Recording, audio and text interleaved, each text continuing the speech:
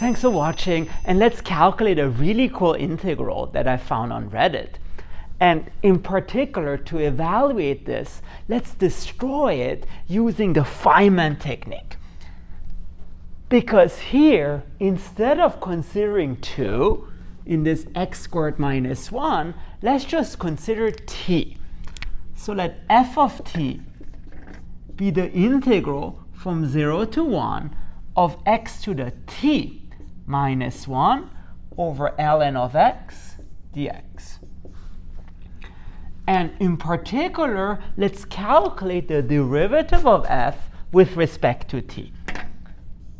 So f prime of t equals integral from 0 to 1. Let's put the derivative inside. And in particular, the derivative of x to the t with respect to t that's like differentiating 2 to the t, and it becomes x to the t times ln of x. And this minus 1 becomes 0, and this ln of x is just a constant with respect to t. So we're still left with ln of x dx. And now notice the beautiful thing, the ln of x, they just cancel out. And so in the end, all you have to do is to integrate this power function you know, with respect to x. And what you end up getting is x to the t plus 1 over t plus 1. And that's from x equals 0 to x equals 1, which in the end gives you 1 over t plus 1. So this is our function, and we just calculated the derivative to be 1 over t plus 1. How does that help us solve a problem? Well, if you think about it, our answer is nothing other than f of 2, because you just replace t by 2. But by the fundamental theorem of calculus, the value of f at 2 is the same thing as the value of f at 0 plus the integral from 0 to 2 of f prime of t dt.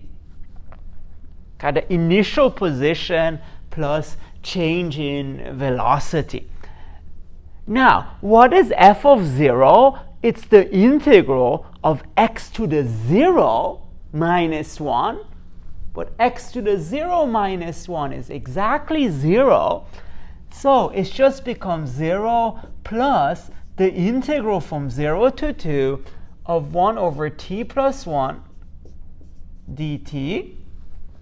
But you can just evaluate this using ln. So this is ln of t plus 1 from 0 to 2, which becomes ln of 3 minus ln of 1, but ln of 1 is just 0. And so in the end, the answer to that Reddit integral is just ln of 3. How cool and sort of slick is that, if you wish? If you want to see another method for doing this, stick around because you can also evaluate this using U-sub. And here's an even cooler way of doing this without Feynman's technique which is due to my friend Floyd, because let's just do it directly using a u substitution. So let u be ln of x. Then x is e of u, like the European Union, and then dx is e of u du. And moreover, u of 0 plus is minus infinity, u of 1 is 0. So this just becomes the integral from minus infinity of 0 e of u squared, so e of 2u minus 1 over u times e of ud. So no more x's here. And for purposes of what's to come next, let's just multiply and divide by 2 And the reason for this is, is that now you can recognize this left side as a certain antiderivative. because this just becomes 2 times integral from minus infinity to 0 of e of 2ut over 2u from t equals 0 to t equals 1 times e of u d. kind of reverse engineering this because if you plug in t equals 1 here, you get e of 2u. If you plug in t equals 0 here, you get 1. But this is precisely an antiderivative of e of 2ut with respect to t. And so this integral just becomes 2 times the integral from minus infinity to 0 of the integral from 0 to 1 of e of 2ut dt e of u du. And so we have transformed this into into the following integral. And of course, what happens when we see this double integral? We just want to use the Fubini trick.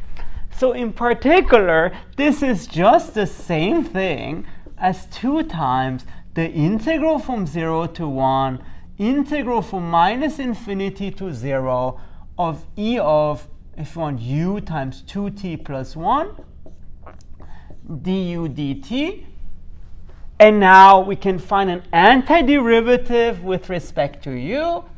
So it's 2 times integral from 0 to 1 e of u 2t plus 1 over 2t plus 1